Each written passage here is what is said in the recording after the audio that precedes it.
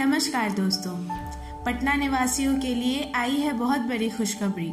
पटना से दौड़ेगी bullet train. जानिए, सफ़र सिर्फ़ तीन घंटों में ही होगा तय।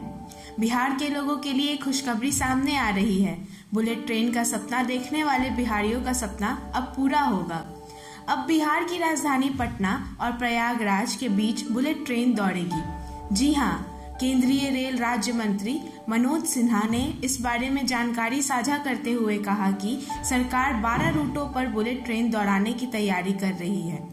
इन 12 रूटों का रिपोर्ट जल्द ही सौंपा जाना है। इन 12 रूटों में से एक रूट पटना से प्रयागराज का भी है।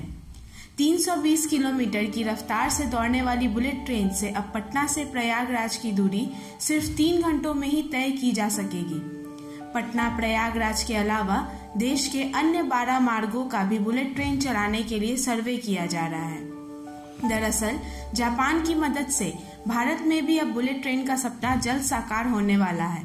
आपको बता दें कि देश की पहली bullet train Mumbai Ahmedabad route पर चलेगी। मुंबई अहमदाबाद रूट की तर्ज पर देश के अन्य बारह मार्गों पर बुलेट ट्रेन चलाने के लिए सर्वे किया जा रहा है।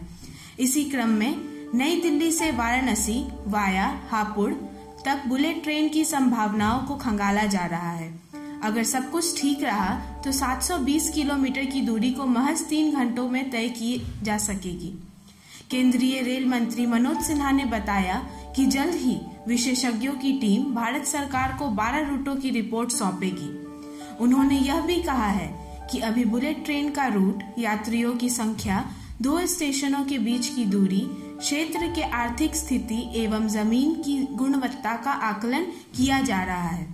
इस संबंध में श्री सिन्हा ने कहा कि रेल मंत्रालय ने देश ऐसे बारह रूटों का चयन किया है, जो सबसे तेज एवं व्यस्त गलियारों में माने जाते हैं। इस कड़ी में जर्मनी की सर्वे टीम ने मैसूर, चेन्नई रेलखंड पर प्रथम चरण की रिपोर्ट बना ली है।